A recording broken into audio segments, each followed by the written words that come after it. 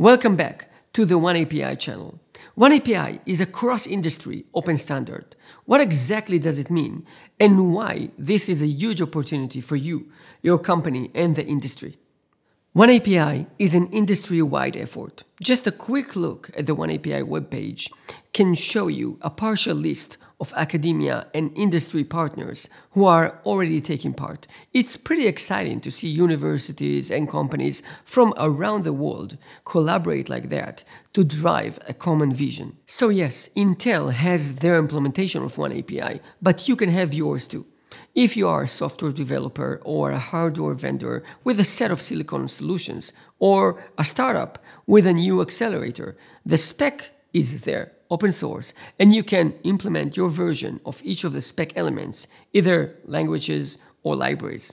When you do that, millions of developers can start using your hardware with the same tools, libraries, or APIs they are already using today.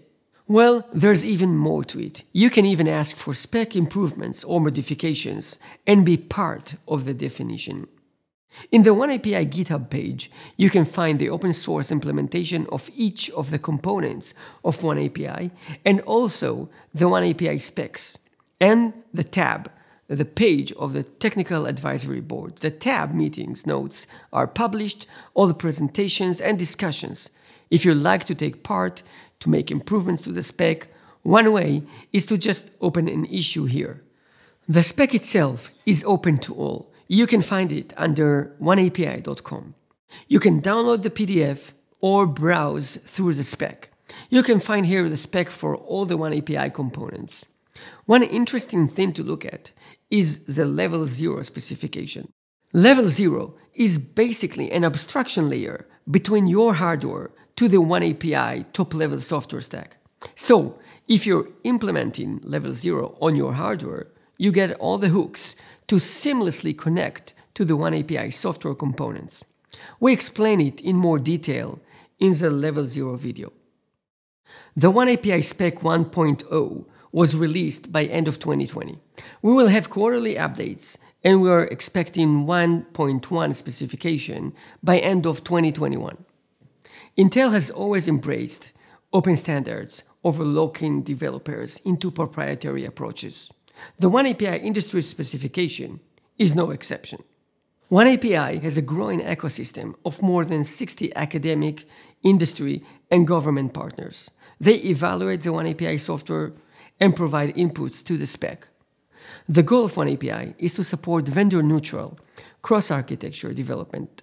As shown in this diagram, SYCL or similar data parallel C++ programs can be compiled on a growing number of architectures. For example, the Intel OneAPI compiler supports Intel CPU, GPUs, and FPGAs via the OpenCL or Level 0 backend.